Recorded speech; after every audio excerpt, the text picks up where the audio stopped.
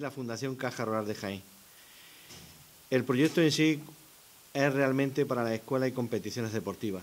Este convenio se enmarca dentro de lo que es la Rural Tiempo Libre en la convocatoria 2016-2017. Es el primer convenio que firmamos. Llevamos tiempo detrás de poder firmar un convenio y creo que ha llegado el momento hoy para la firma del mismo.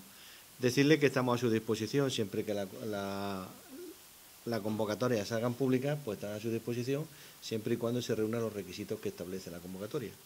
Y nada, Tomás. Bueno. Este empuje a las actividades que viene desarrollando el Club de Tenis Linares, que en un proyecto muy ambicioso como el de la remodelación de las pistas de tenis, estaba también que nosotros como Club de Tenis debiéramos también de dar un paso adelante. El paso adelante lo dimos hace ya unos años, ahora estamos recogiendo los frutos, en que tenemos una escuela que lleva funcionando cinco años, escuela de tenis, empezamos con 20, 30 alumnos, estamos ya por, más de 80 alumnos y ya estamos en las competiciones. Por lo tanto, este convenio que firmamos hoy nos viene de lujo porque soportar el gasto de desplazamiento, equipaciones, eh, la manutención, todo lo que lleva la gestión de la competición y la escuela, pues es costoso y hasta ahora estaba recayendo o en padres y alumnos o también en el propio club.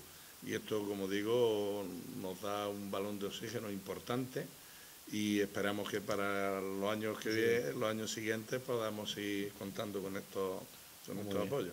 Muy bien.